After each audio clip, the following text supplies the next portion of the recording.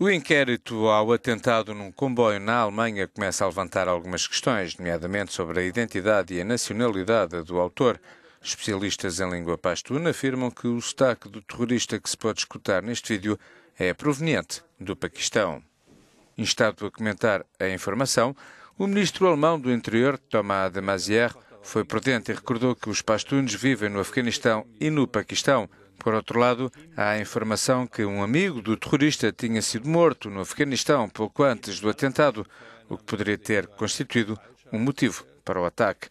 E focando a ligação entre refugiados e terrorismo, o ministro alemão referiu que os serviços de segurança recebem muitas indicações neste sentido, mas que, na grande maioria dos casos, são falsas.